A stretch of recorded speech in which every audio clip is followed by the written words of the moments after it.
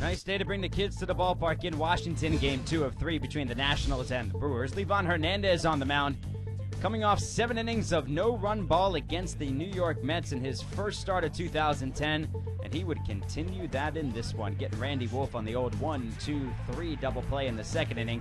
In the bottom of the second inning, Livan getting a little help from his friend Justin Maxwell. Maxwell, deep left center. See you later. 3 0 Washington. Bottom of the fifth inning now with two outs. Cristian Guzman on second, Ryan Zimmerman takes the curveball down into the left field corner. It'll be an RBI double, and it's a 4 0 lead for the Nationals. Top of the sixth, Zimmerman in the field, charging, gloving, throwing out Ryan Braun over there at first base. Top of the sixth. I promise we'll see more of Zimmerman in the field later. Livan, roll in, roll in, roll in. Prince Fielder, not nice to stare, but he does it anyway. That was six innings of scoreless ball at that point, bottom of the sixth.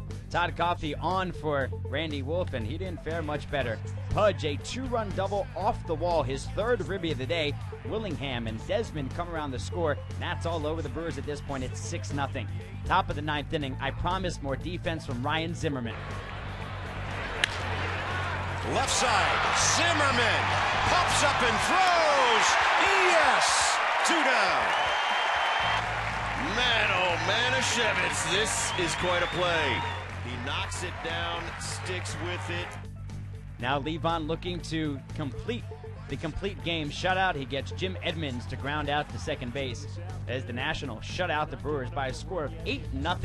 Livan's 48th career complete game, his eighth career complete game shutout for Washington. Now they've won three straight games, their longest winning streak of the season and Jason Marquis is on the mound on Sunday as they'll go for the series sweep.